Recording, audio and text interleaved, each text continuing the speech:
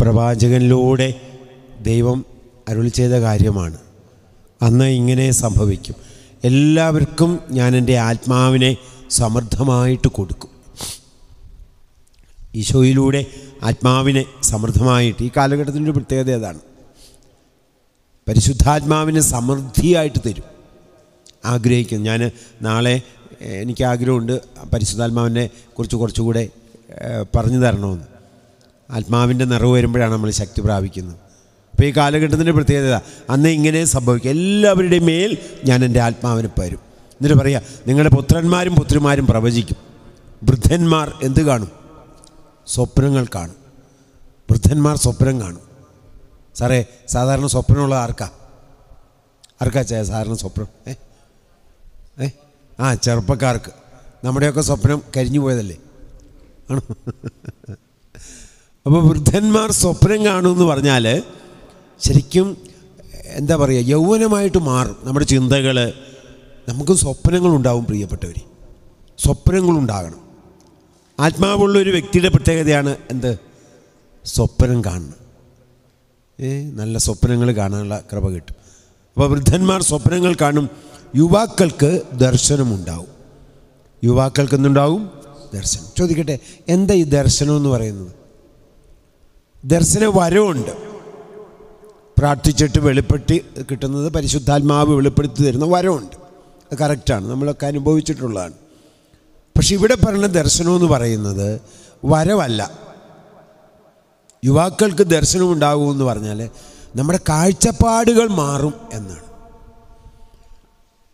അപ്പോൾ ആത്മാവ് വന്നു കഴിയുമ്പോൾ നമ്മളുടെ കാഴ്ചപ്പാടുകൾ മാറണം പ്രിയപ്പെട്ടവർ കാഴ്ചപ്പാടുകൾ മാറണം.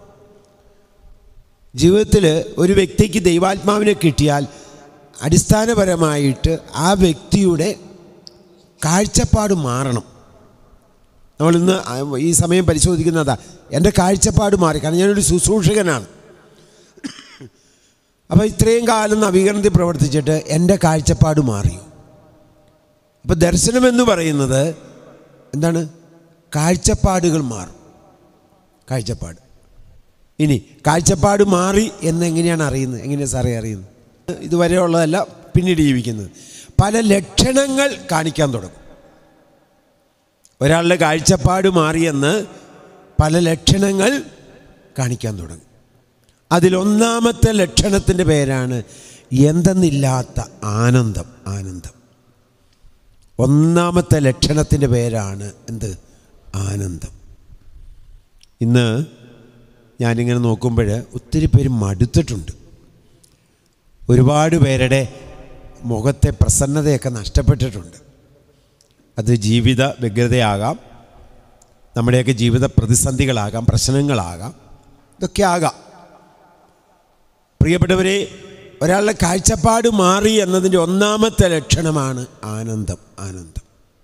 എന്താ ഈ ആനന്ദം? ബൈബിളിൽ പറയുന്നൊരു വാക്കാണത് ആനന്ദം.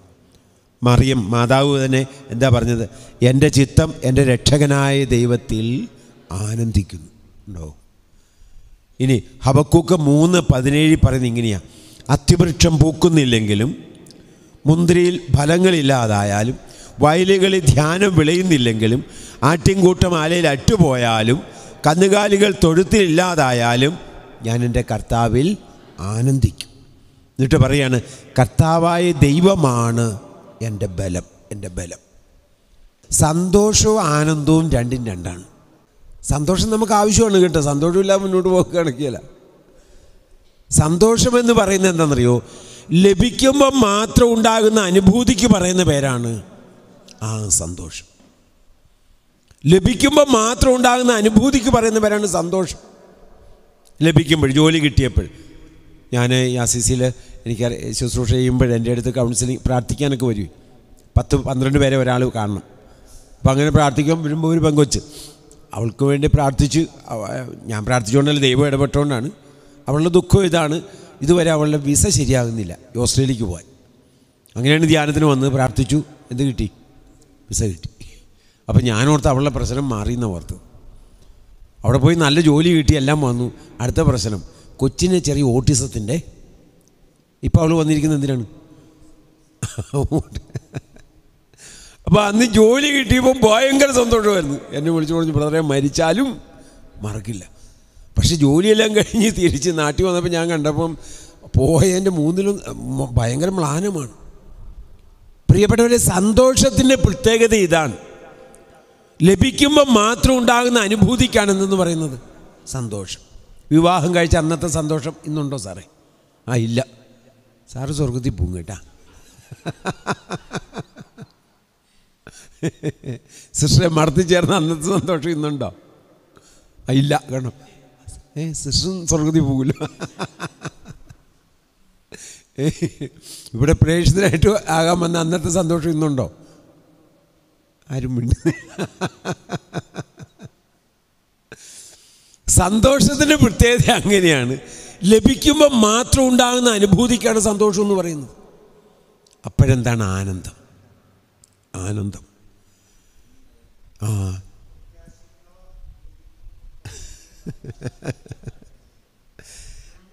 ഹബക്കൂക്ക് എന്തെന്നാ പറഞ്ഞത്? അത്തിവൃക്ഷം പൂക്കുന്നില്ലെങ്കിലും മൂന്ന് പതിനേഴ്. അത്തിവൃക്ഷം പൂക്കുന്നില്ലെങ്കിലും മുന്തിരിയിൽ ഫലങ്ങൾ ഫലങ്ങളില്ലാതായാലും വയലുകളിൽ ധ്യാനം വിളയുന്നില്ലെങ്കിലും ആട്ടിൻകൂട്ടം ആലയിൽ അറ്റുപോയാലും ഞാൻ എന്റെ കർത്താവിൽ ആനന്ദിക്കും എന്ന് പറഞ്ഞാൽ അതിനർത്ഥം എന്താണെന്നറിയോ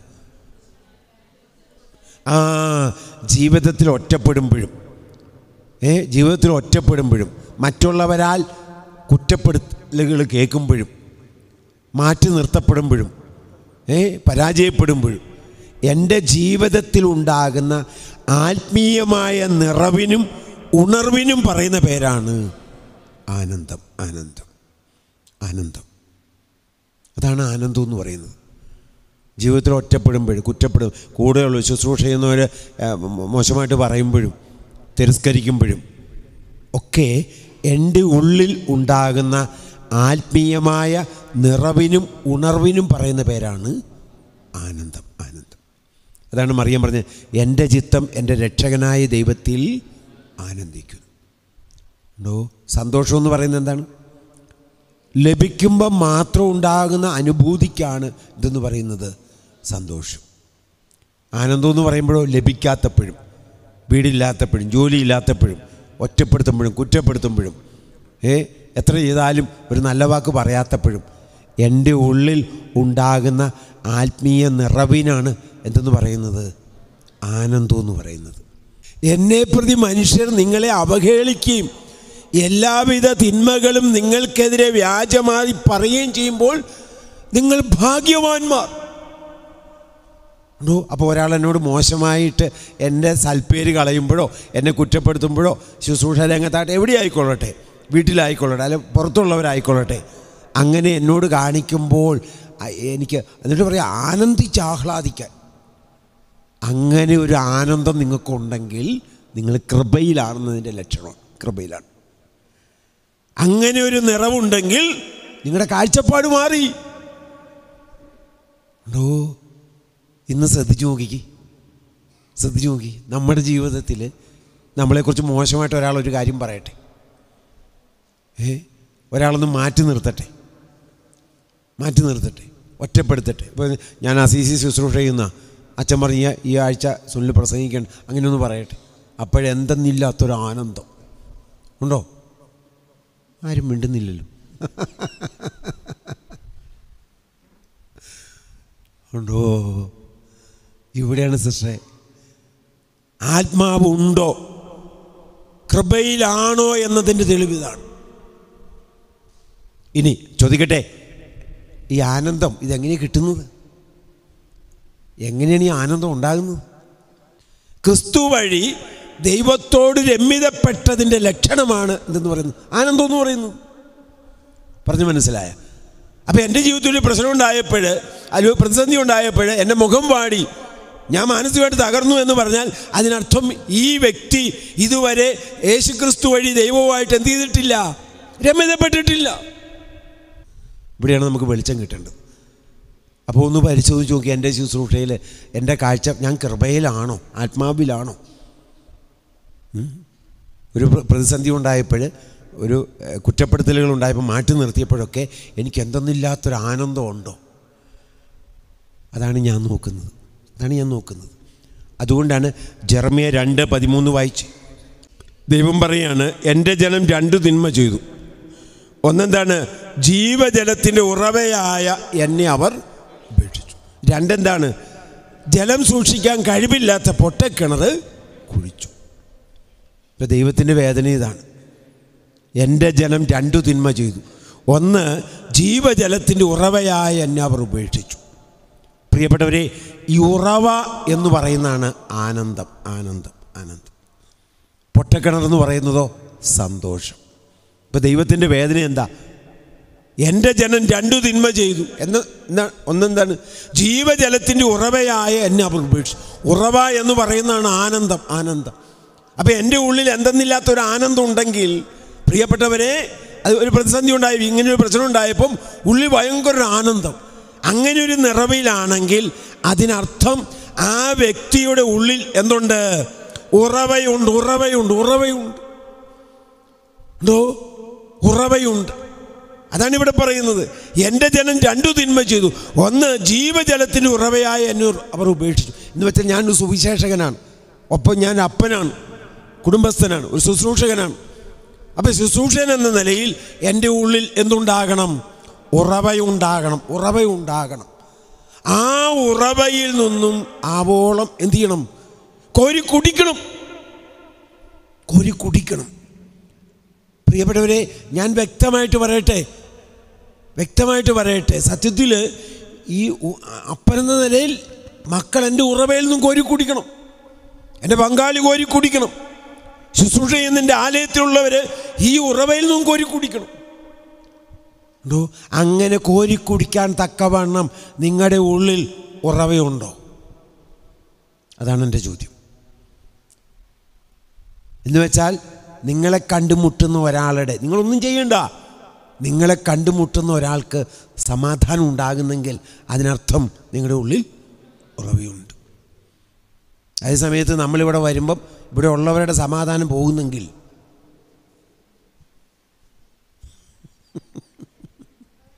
ആ ഉറവയില്ല അതുകൊണ്ട് വരാതിരിക്കുന്നതാണ്. നല്ലത്. സത്യമാണ് പ്രിയപ്പെട്ടവർ ഞാൻ നിങ്ങളോട് വേദനയോടെ പറയട്ടെ. ഇത് റെക്കോർഡ് ചെയ്യുന്നുണ്ട് ഇതൊരു പ്രശ്നമാണ്.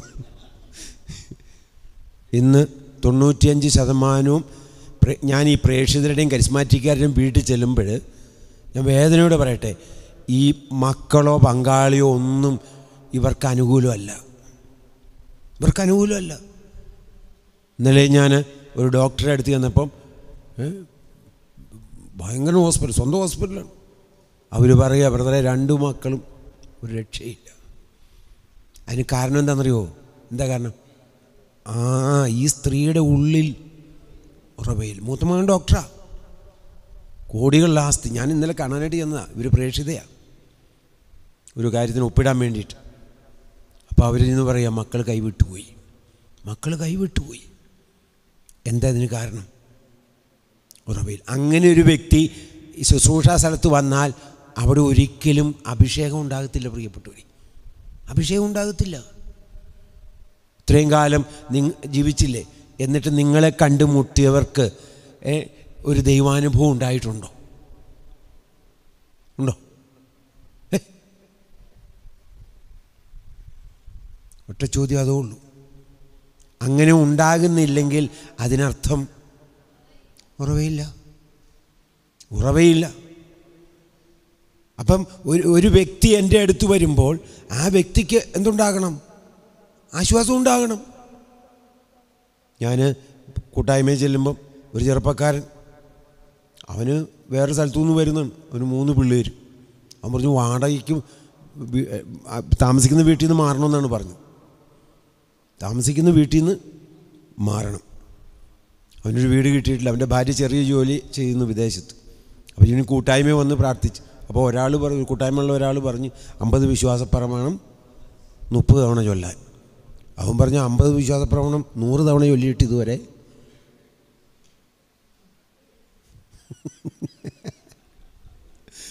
ഞാനിങ്ങനെ ഇതൊക്കെ കേട്ടിരിക്കുകയാണ്.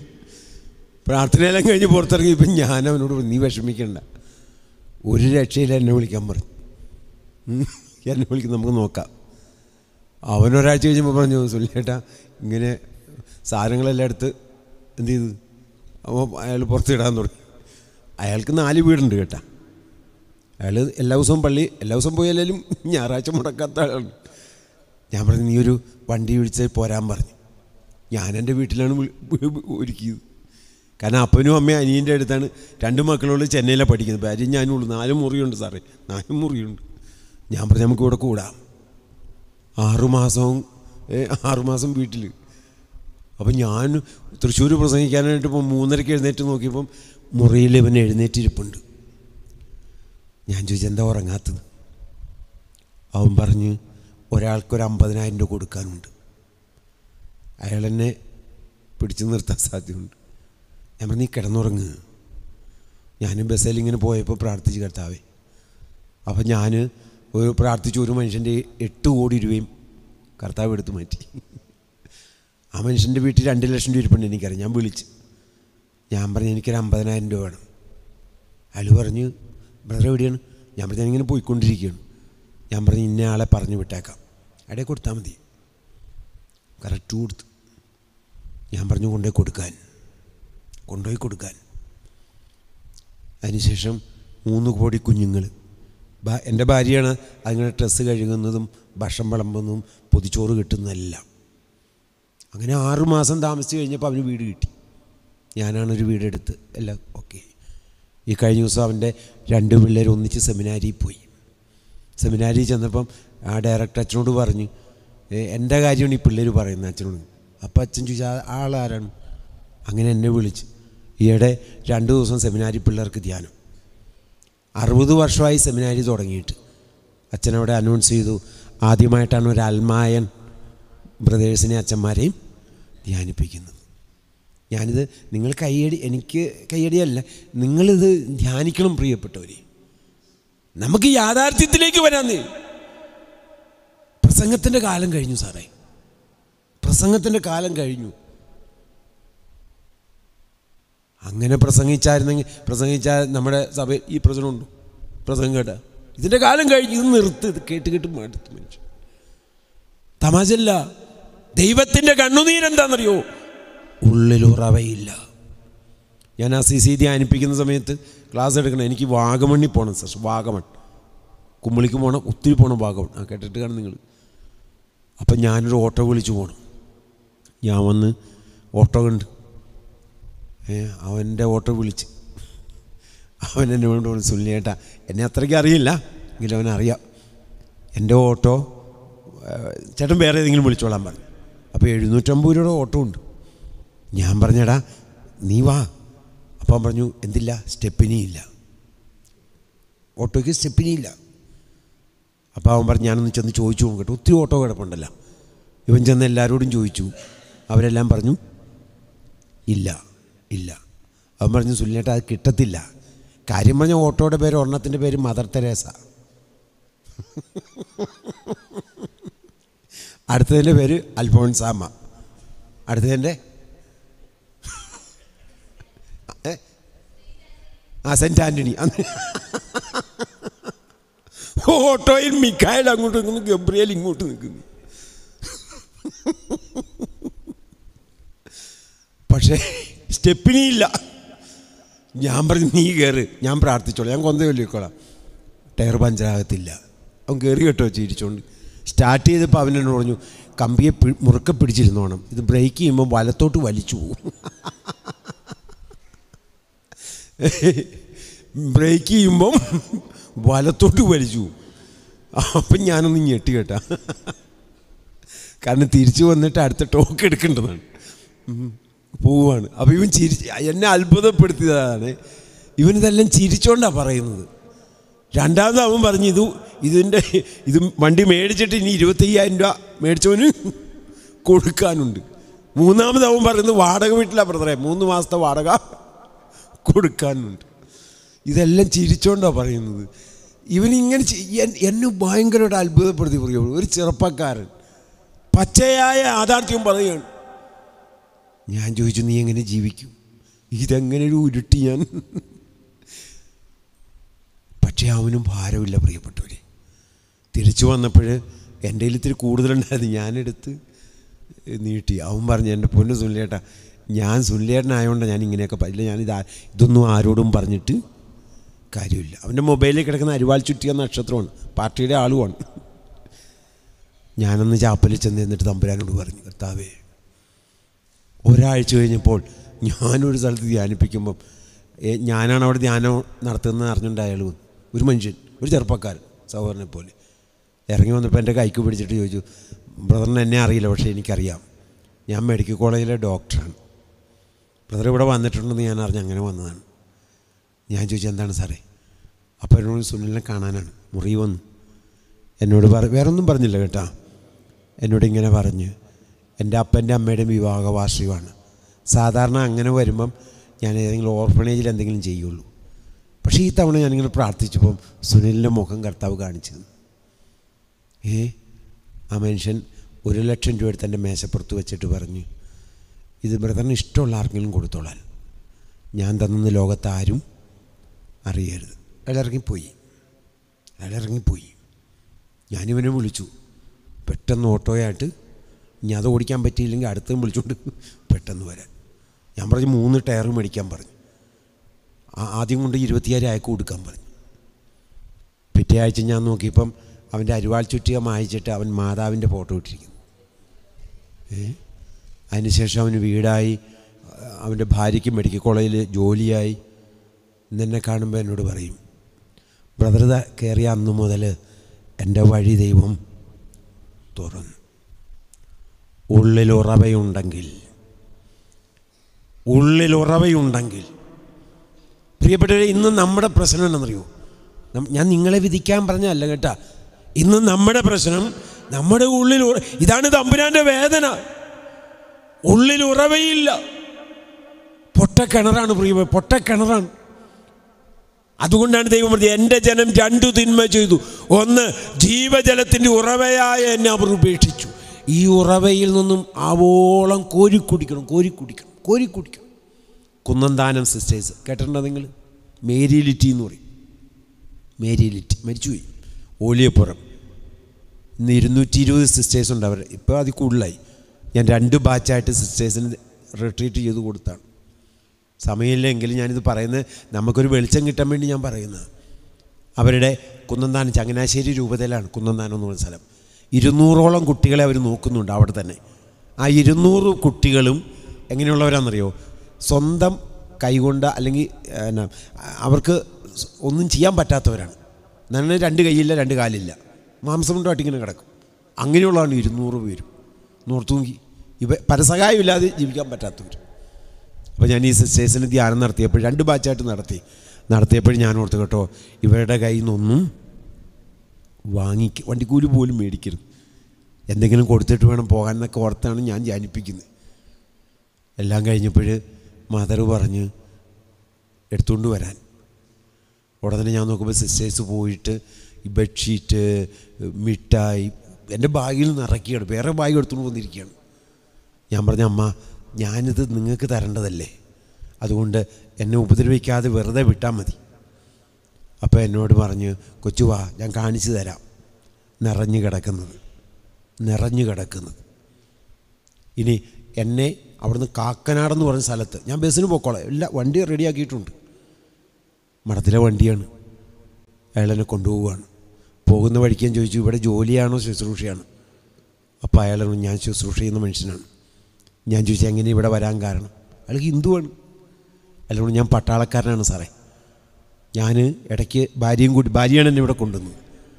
ഞാൻ ആ സിസ്റ്ററിന്റെ അടുത്ത് വന്നപ്പോൾ അവിടെ കണ്ടപ്പോൾ എന്റെ ഭാര്യ പറഞ്ഞു അത് കന്യാസ്ത്രീ അല്ലത് അത് ക്രിസ്തുവാണ്.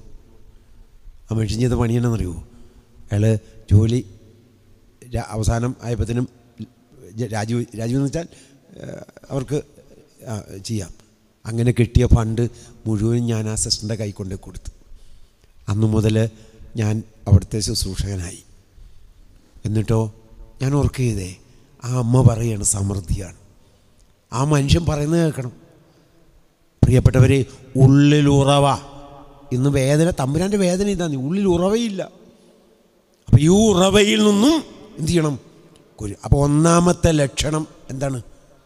ആനന്ദം. ഈ ഉറവ എന്ന് പറയുന്ന ആരാണ്? ആ ഉറവ എന്ന് പറയുന്നത് ആനന്ദമാണ്. എന്റെ ദൈവത്തിന്റെ വേദന ജർമ്മ രണ്ട് പതിമൂന്ന്. എന്റെ ജനം രണ്ടു തിന്മ ചെയ്തു. ഒന്ന് ജീവജലത്തിന്റെ ഉറവയായ എന്നെ അവർ ഉപേക്ഷിച്ചു. അപ്പോൾ ഉറവ എന്ന് പറയുന്നത് ആരാണ്? ദൈവമാണ്.